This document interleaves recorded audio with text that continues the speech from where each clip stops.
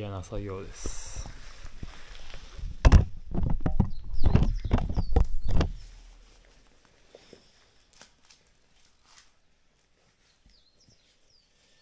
あた。冷てえ。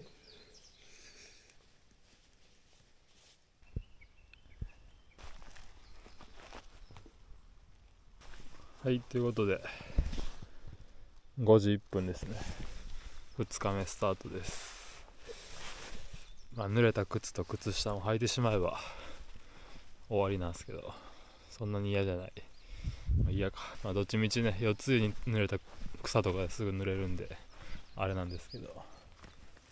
はい。今日は曇り予報なんですけど現在ちょっとちょっとどころかちゃんと青空が出てます。ね期待します。はい。ということで桂池。テントサイト。お世話になりました。出発します。今日はね野々海テントサイトまで歩きます。関田山脈かな。そこを歩けますね。じゃあ行ってきます。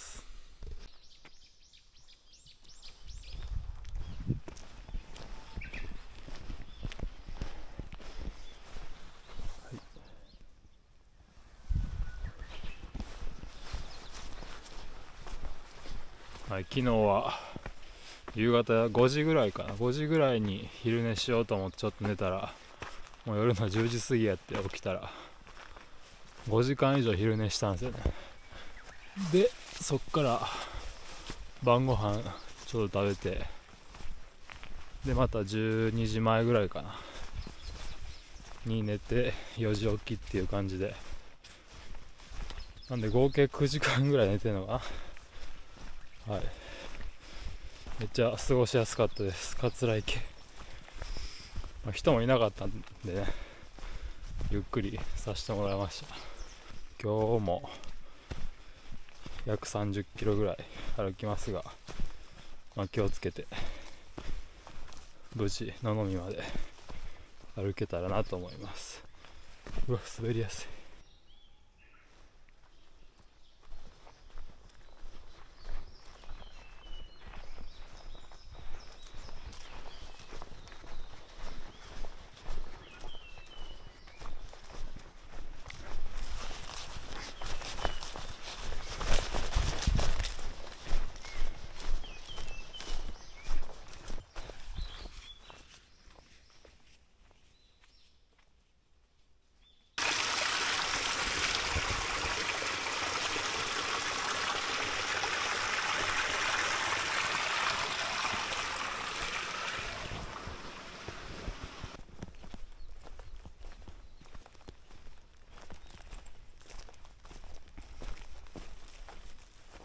何やらスキー場の中に出ました。ねもうすぐ仏ヶ峰登山口です。普通ヶ峰どっちか分かんないですけど。思いのほか足が動かん。6時33分。仏ヶ峰三角点です。周りはこんな感じで草木に覆われてます。ですね。結構風の通る隣に変わりましたね。こっちが。仏ヶ峰の北側かな。は一気に雰囲気が変わりました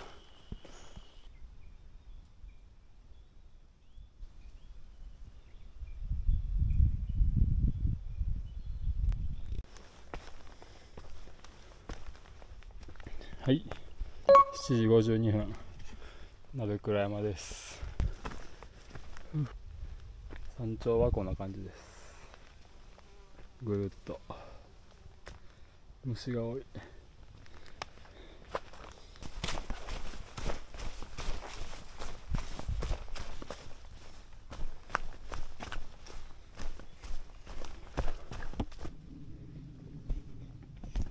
はい8時28分まあ、若干ルートから外れるんですけどちょっと気になるんでこの茶屋池に寄ってみます。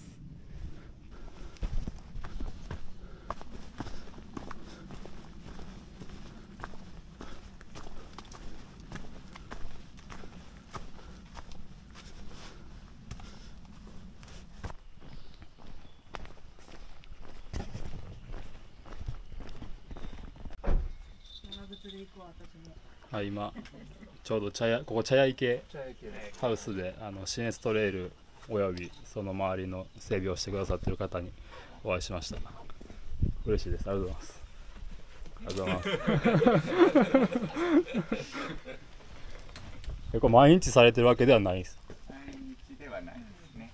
あのはい。今月結構学校団体がはい来まして、はい安全にできるあーようにその団体の前とかに整はいはい。備することが多くて、トレイルのはい。整備は週2でやってなるほどトレイルクラブが。そこでそこの森の家に泊まりに来たりとかして。あ、そうですね。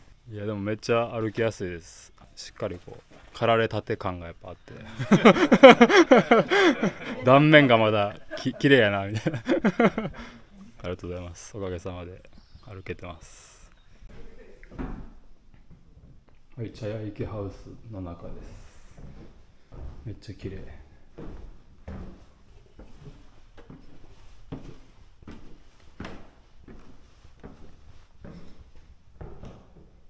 2階もあるんでちょっとしっかりめの休憩取るにはいいですね。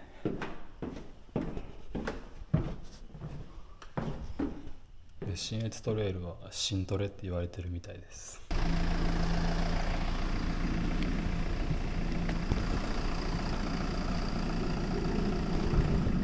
はい今茶屋駅ハウスでちょっと休憩してたらガイドさんにお会いしていろいろお話できてで今ちょっとツアーのお客さん来はったんであの邪魔にならんように出てきました。いやまさかのいろんなこの新越トレイルに関わってる方とこんなところで会えるとは、まあこんなとこやからこそ会えたんかな。あえて茶屋駅ハウス寄ってよかったですね。では関田峠に向かいます。今9時7分です。はい。で先ほどガイドの方とお話ししてると新越トレイルはコンセプトとしてコンセプトの一つとして、まあ、なるべくねありのままの自然を残した整備を心がけてるってことやって僕も歩いててねこう木が横からトレイルに横切るように生えててこれ切ったらすごい楽に歩けるけどあえてこうその木を右に迂回するような道があったりとか。なんか言われてみればやっぱりそうやったんですねっていうこう整備の仕方がされてるんでそれも一つねこう歩いてて面白いポイントかなと思います。久しぶりの晴れ。天気予報今日曇り時々雨みたいな感じだったんですけど晴れてます。テント干したいな。テント干す？ちょっと干しますか。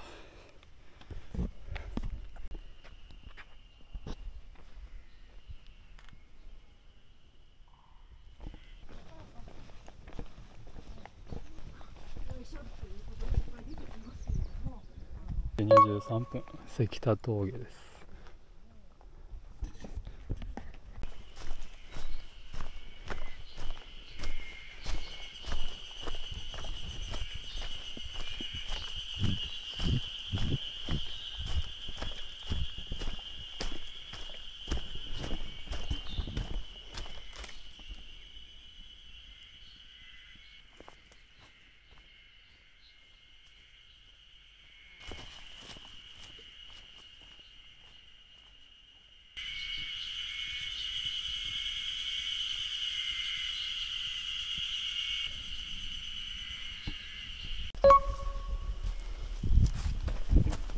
10時27分。牧峠です。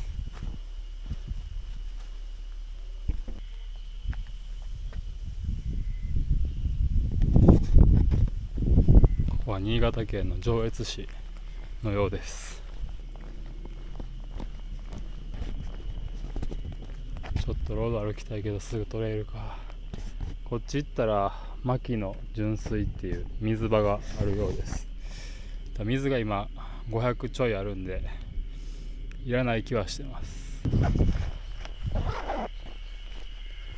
はいちょっとまあ気温も上がってきてもしかしたらここからさらに上がって水欲しくなるかもしれないんで、まあ、念のためね水汲みに行きます。ちょっとこういう舗装路も嬉しいんで。そんなに遠くなさそうなんでバックパックは置いてきました。これだけ持っていきます。なんかね沖縄っぽいんですよね。この虫の鳴き声の多さとこの湿気と木の多さ。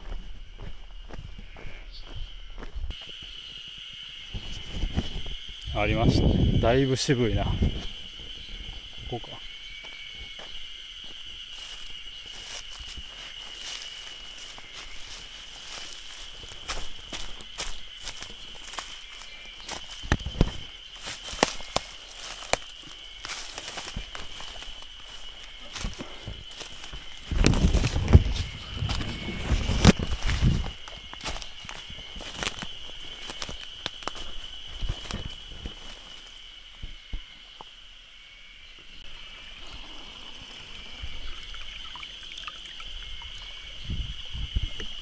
結構しっかり出てます。助かりました。水500ぐらいゲットしました。来る時下りやったんでよかったけど登らなあかん。下りは水場まで軽く走って7分ぐらいでしたね。登り多分15分20分がかかるかかるかな。水場の様子を見れたのと水も実際取れたんでよかったです。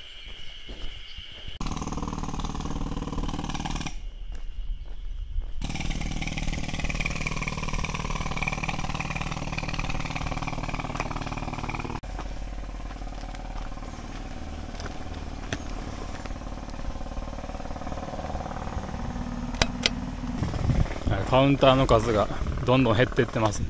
押してるハイカーの数がどんどん少なくなってます。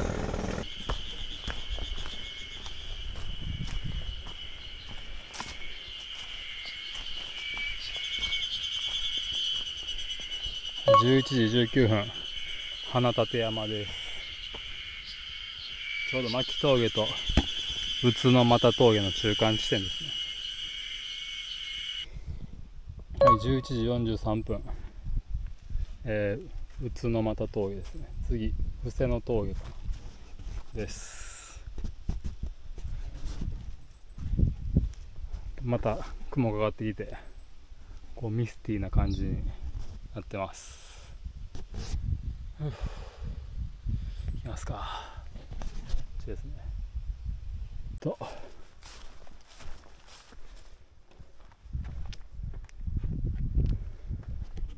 ブスの峠って読むんや。ブスの峠です。そしてなんとハイカーボックスがありました。ハイカーボックス？ああ。すごい。天然水があります。たださっき汲んできたんで大丈夫です。ありがとうございます。あと9.5もあんの？ちょっと。足がふやけて多分足の裏に水ぶくれかな。なんかめっちゃ痛いです。一回脱ごうかな。でもあと1 0キロぐらいあるのか。脱いだらなんか見たら痛くなるのが増しそうなんで。ちょっと一回休憩しよう。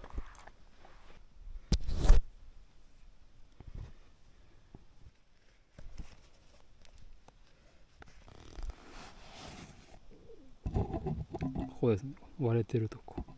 ここが痛い。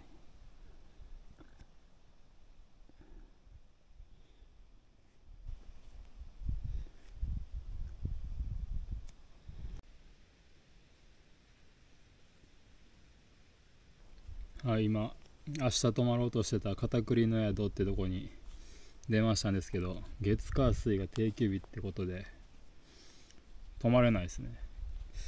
とね新越トレイルのパンフレットに片栗の宿宿泊の方は宿泊4日前までに連絡してくださいって書いてあったんですよね。片栗の宿に。日程がまあね怪我とかこうペースとかで前後するかなと思ったんで、まあ、前日にしようと思ったら4日前ってそういうことか。水曜日に泊まろうと思ったら日曜日に電話しといて営業はしてないけどテント場は貸せますよっていうことやったんですね。やってもうた。なちょっと。どうしよう。とりあえず飲み行きましょう。ちなみにこの看板めり込んでんなと思ったらめり込んでましたね。この辺りは冬は8メートルもの雪が積もります。で重さで倒れることが多いけど垂直に沈むことは大変珍しいそうです。すごいけど明日どうしよう。なんとか支配人に連絡使えんかよいしょ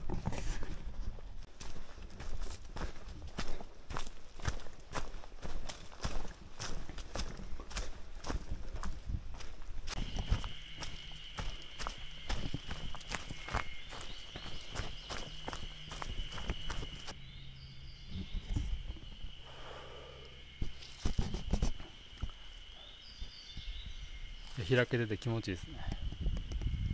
野々見峠まであと3キロぐらいですかね。のブナ林です。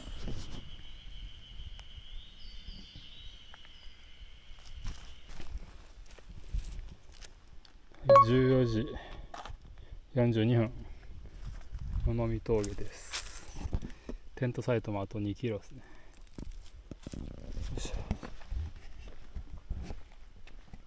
いやマジで。片栗の宿ミスったな。月火水定休とは知らなかったですね。4日前に予約。そういうことか。しかも水曜泊まろうと思ったらどっちみちあの温泉は入れないんですよね。廃校を利用した宿みたいで普通に泊まりたかったな。普通に泊まってみたかった。くぅそれでちょっと今若干やられてます。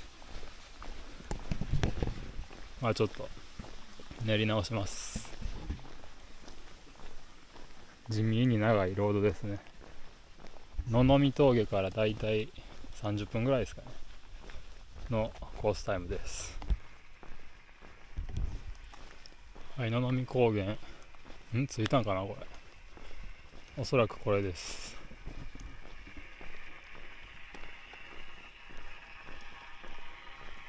避難小屋というかシェルターが使えるみたいで今日の夜大雨降る予報なんで利用して利用させてもらおうかなと思ってるんですけどここここですね。合ってるな。おそらくあれがシェルター。これが水場。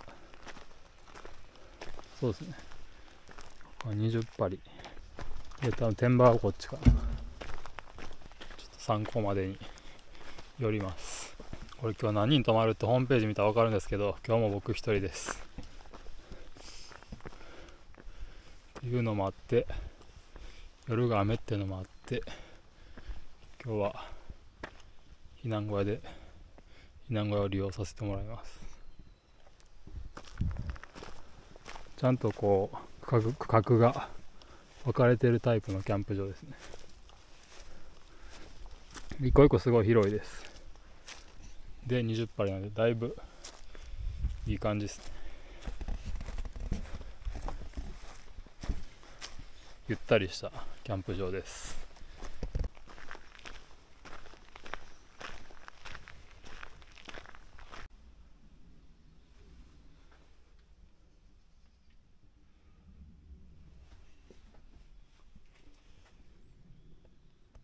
今現在まだ雨降ってないんですけど今日の夜結構降る予報なんでシェルターをありがたく使わせてもらおうかなと思います。なんかリニューアルされたばっかなんですかね。めっちゃ綺麗です。しかもコンセントもあるようで電気もつくんかな。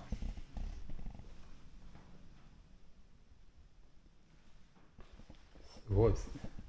シェルター。